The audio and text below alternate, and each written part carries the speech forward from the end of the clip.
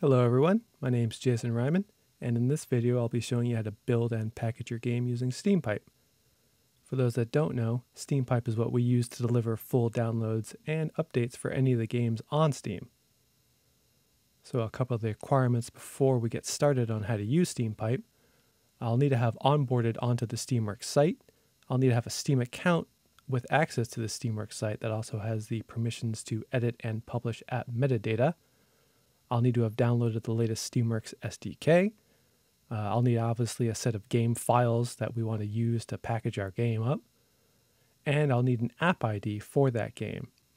And an app ID on Steam is really a unique identifier for Steam. So in this case, we've got a SteamPipe tutorial game set up, which we're going to use here for the test. Uh, I've got myself logged in already, and I'm going to begin by going to the app landing page here. My, my account doesn't actually have very many permissions to do a whole lot of things, which is why some of the things are grayed out, but that's fine for what we need. Uh, the next part will be going to the Edit Steamworks Settings page.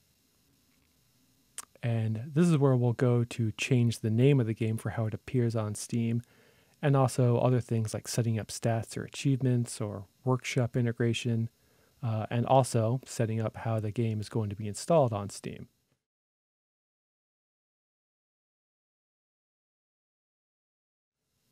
So the next place to go to would be the configuration page, which is under installation. And the config tab here is really what uh, defines how the game gets installed. So we've got our install folder, which by default is just going to be the name of the app ID when it was created.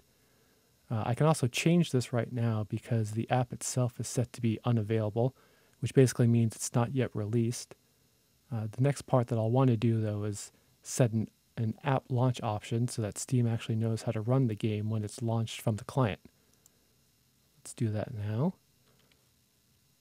And I'm going to want this to actually point to the executable that Steam's going to run.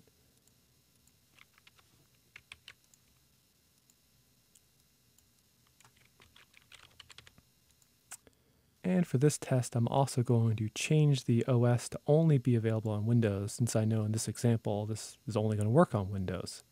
So once those are set, we can hit update here. And that's going to make the changes pending, and it won't actually, nothing's actually live yet. Uh, and there's one other place we want to go to before we make that live, which is the depots page. And depots are essentially what are used uh, to package and contain all the files that Steam downloads. So an app ID is kind of a unique identifier on Steam. Depots are what make up an app ID, and uh, they're kind of like zip files, is another way to think of them.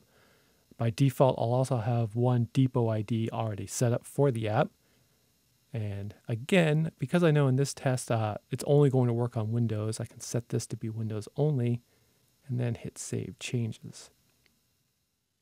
Now, at a bare minimum, your app ID is going to have at least one depot ID, but if you wanted to set up multiple depot IDs, this is the page where you do that.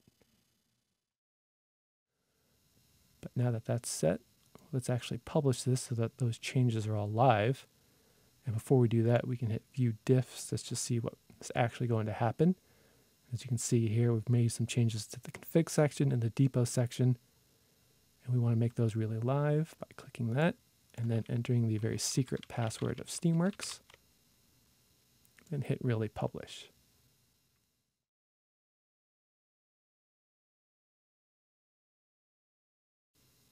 So now that that's all published, we can go and actually define how this gets built via Steam command.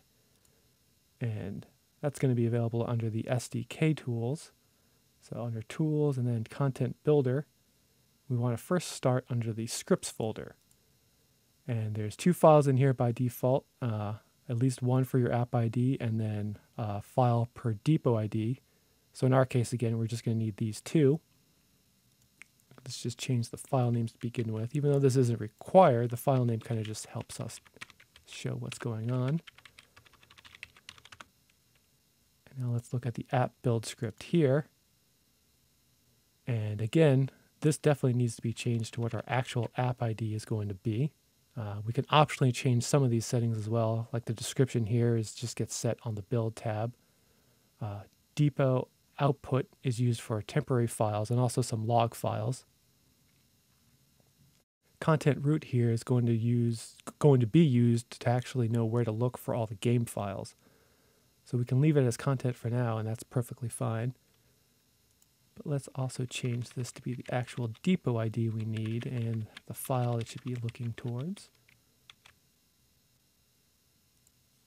Then under the depot script, again, change this to be the actual depot ID. And by default, what it's really going to be looking under is this content folder. And then because local path is just set to be star, anything in this folder would get packaged up under this depot ID. Now for my case, I kind of know that this is just going to be a Windows only build. So let's create a subfolder here and then take all the files that I want to package and place that in, in the subfolder. Now because I've done that, want to put same subfolder here. That way now everything under Windows content will be delivered and packaged up in the base of this depot. So let's save this. I've got all my files here. So really the next step is to use steam command to build everything.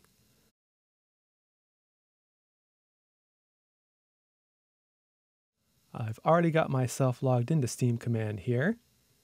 Uh, so it's just really a simple matter of running the command run app build and then point that to the scripts file that I want to run.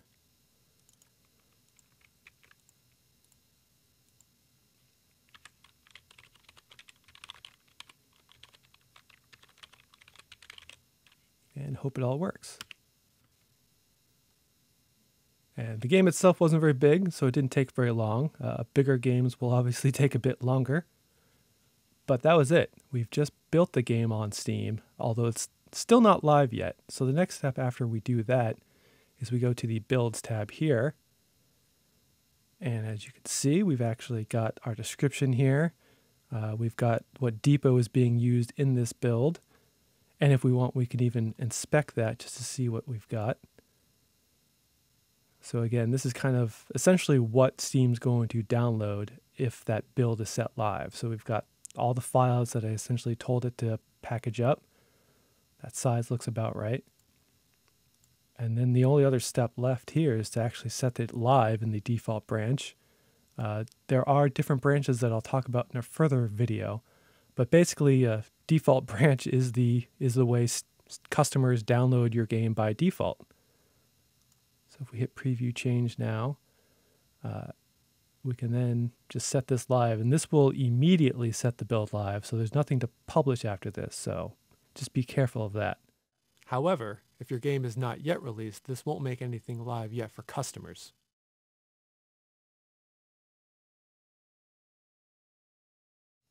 All right, now that we've set that live, I've got Steam open here.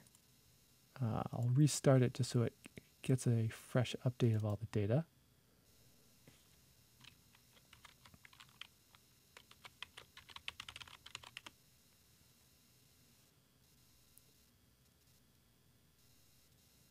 Now, if I try to install the game, it'll actually tell me a disk size that's needed, which is about the same size that I saw before. I've got it installed. Uh, I can go and look to see if it's actually the right set of files.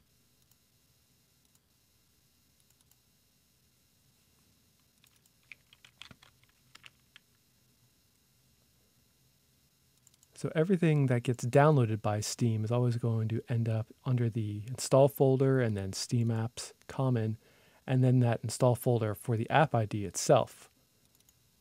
So again, I've got all my files there. So that's really how easy it is to just do your initial packaging up for any game on Steam. Uh, and if I wanted to do an update for a game, that's also just as easy. For example, if I wanted to go in here, let's say I'm really on version 2 of my game. So then all I'd have to do is run the command again after I log in.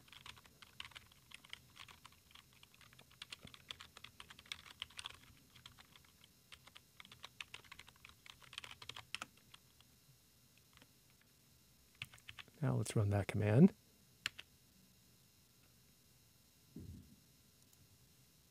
And if we refresh the builds tab here, we'll see there's a new build available.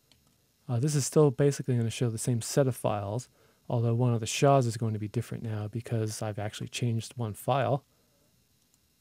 And if I go and set this as the default branch now, it'll just give me a little comparison of what the expected download size will be, which seems about right for the tiny file I changed. So if we set this live,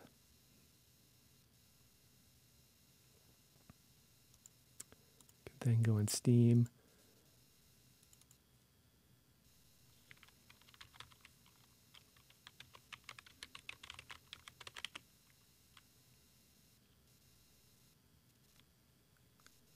and it just gave me a very small update, I'm assuming, which we can double check by looking at our folder here.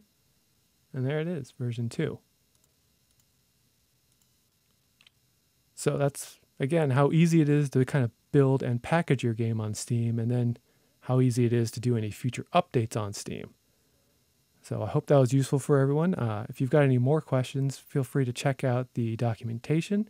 And we're also planning on doing more videos like this. So, hope it helps.